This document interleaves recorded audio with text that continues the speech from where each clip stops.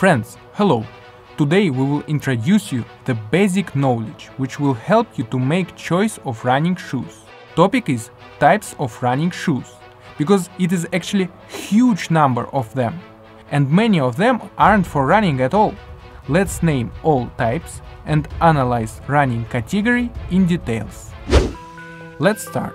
First, almost immediately after its introduction, running shoes began to attract non-athletes to wear them in everyday life.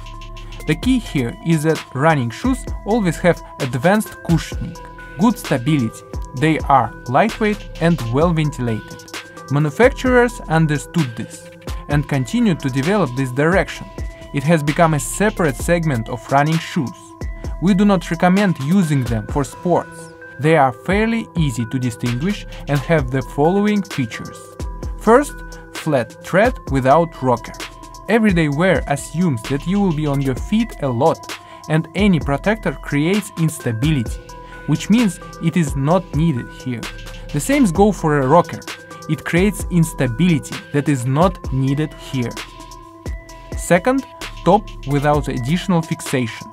In everyday wear, we do not put stress on the upper. We do not need additional fixation to hold the foot which means it will only make sneaker heavier and less comfortable. Third, upper with improvements for weather conditions. Since we are not limited in the use of only special types of fabrics, we can make more holes in the sneaker or make them warmer. They will either fix less or too heavy for sport, but for everyday wear they will serve perfectly in hot and cold seasons. Another type of running shoes is fitness shoes. The fact is that when we work out in the gym, one of our activities can be running. But the specificity of this shoe is created by another type of activities. First, stiff midsole. One of the activities will be weights. When we're squatting with a barbell, we need to be sure that shoes will not behave like jelly, will be stable. Second, sides reinforcements. Both the upper and the midsole should be reinforced. This is to ensure that when we do side-to-side -side movements, the sneaker does not break and remains stable. Third, no rocker. This point is continuation of the previous two. In order for the shoe to be stable during other exercises, it must not be there. The next direction is track and field. This is one of the most exciting type of running shoes, because it is the fastest segment. And even more interesting is that there are a lot of them. 400 meter running, for 200 meter running, which are improved for cornering, for 3000 meter running, and so on, more than 7 types. We will highlight this category in separate video one day. For now, we will restrict ourselves to only general features. First, spikes. At the stadium, we run on a special surface that allows the use of spikes. The grip is much better in them. Second, stiff carcass. Shoes should be responsive, so not to waste seconds waiting for response from soft foams, the shoes are equipped with stiff polyamide or carbon elements. Third, light upper. In these shoes, you need to show fast seconds, which means that excess weight is not needed here. Okay, next is the huge segment of asphalt running shoes, which has its own subsections. The subsections contain even more detailed subsections. But don't worry, we will explain everything. And the first section of running shoes is cushioning. In fact, this is the base from which everything starts.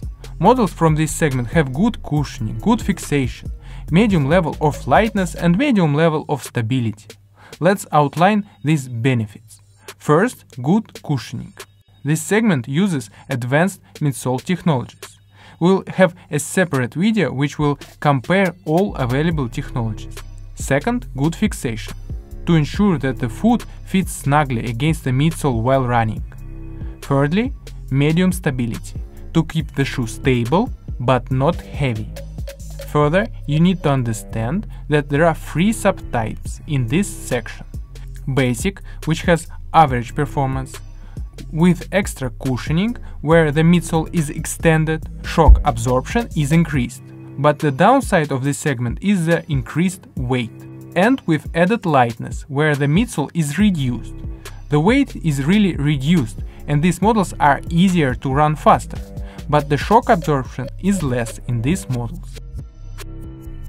Okay, let's continue. If a runner does not have trained stabilizers muscles, or simply prefers safer models, manufacturers add elements that help landing and takeoffs to be more predictable.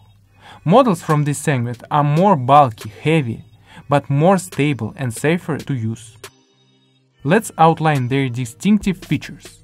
Firstly, everything what we seen in the cushioning segment. After all, these models are development of that segment. There must be cushioning, fixation and basic stability. Secondly, additional elements for stability, which are needed for additional predictability and security. As in the previous subsection, there are several types of them.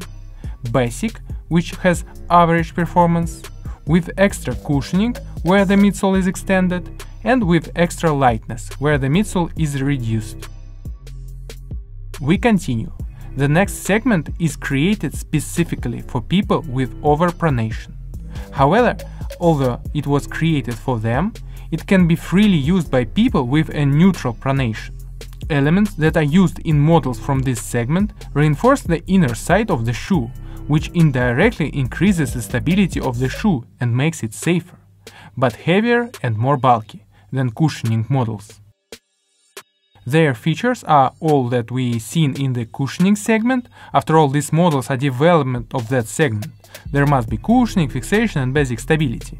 And secondly, additional foot support elements from the inner side of the sneaker, which are needed so that the arch of the foot does not fall through and there is a correction of pronation. As in the previous subsection, there are several types of them. Basic, which has average performance, with extra cushioning, where the midsole is extended, and with extra lightness, where the midsole is reduced. Everything that we have considered before is in some way comfortable models. Yes, not for everyone. Let's say lightweight models will be comfortable only for experienced runners with trained legs, but they all have at least minimal level of cushioning and comfortable upper. And we move on to the speed segment. Speed models is not about comfort. Everything here should give an advantage, and therefore models from this segment are lightweight. They have light hard top to save weight but keep the hole at good level. Second, lightweight midsole material to save weight but keep the responsiveness and third, almost total lack of midsole or carbon plate inside. There are options in here. First is the ultimate lightness, when all the lightest materials are used in the model. The speed here is achieved by the fact that the shoe here does not disrupt the runner. Secondly, the innovation that came with the introduction of Nike Vaporfly 4%. This model features a carbon plate and a high midsole, their speed secret lies in the rolling motion. Let's continue. With the introduction of carbon plate segment in speed, the training segment also began to change. People needed to train the rolling motion, the swing effect. Models in this segment are distinguished by a high midsole, greater running efficiency, but due to the height, they are also less stable. Their features are high midsole in order for rolling motion to have more amplitude, incline in front in order to have the first impulse to fall, and responsive foam to help push the runner.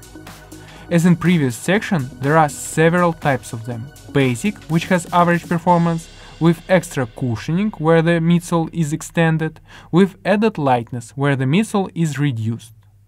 Now you know all types of running shoes, there are 14 of them. But we must immediately clarify that each brand is not like the previous one. Brands make hybrids, cross segments, create their own directions. We will describe all of them in details in brands reviews. Probably you are still in doubt which segment is right for you. But for this we will have separate video which will be available soon. But one question remains, which models belong to which segment? We have an answer.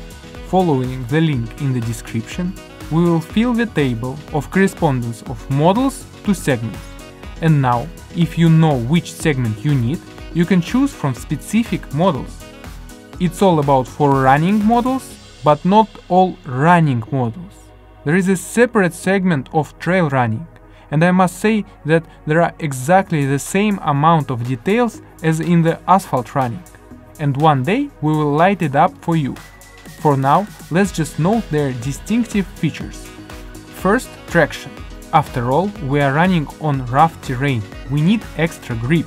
Second, lightness, to climb and to cover huge distances without wasting any energy.